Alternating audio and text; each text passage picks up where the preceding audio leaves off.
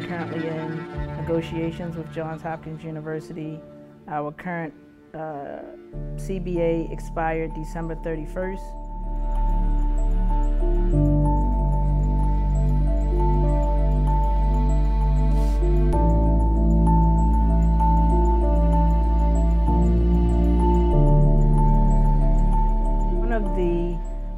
Biggest issues with the fact that uh, JHU is proposing to lay off these uh, maintenance workers is that it will not stop there.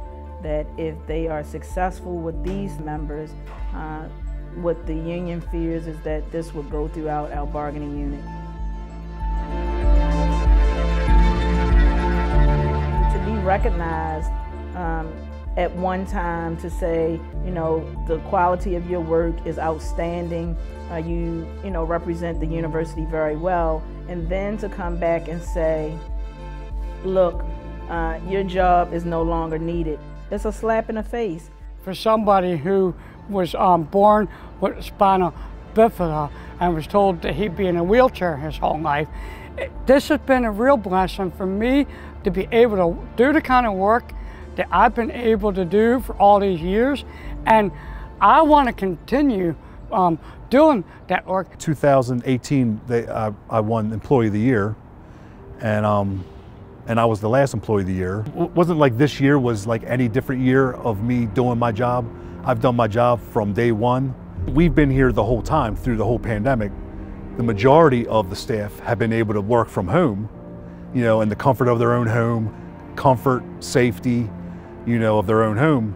Here we've been here the whole time keeping these, I think it's like 23 buildings oper you know, operating um, so they can still do their research, so they can get their grants, so they can bring their money in.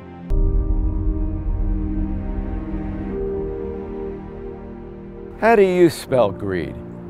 Here's how I spell it, J-H-U. Well, according to their latest financial records online, for the calendar year 2018 to 2019, JHU enjoyed a profit margin of over 26%. And that's no fluke. I have been involved with collective bargaining with JHU since the year 2007. And in that time, in only one year, the Great Recession year of 2008, did JHU operate in the red. All the other years, they were in the black, and for most of those other years, strongly in the black. We need your help to stop corporate greed. Union members are not disposable workers. They uh, come to give their best and they do their best, and we need to make sure that we protect them, we stick with them, and we fight for them.